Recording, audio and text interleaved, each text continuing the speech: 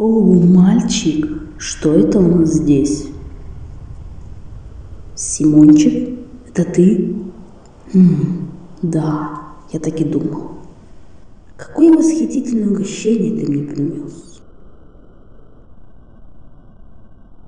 Я полагаю, ты ищешь что-то взамен?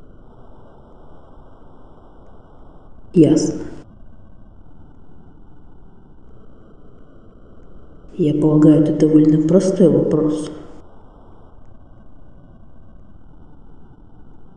Я согласен.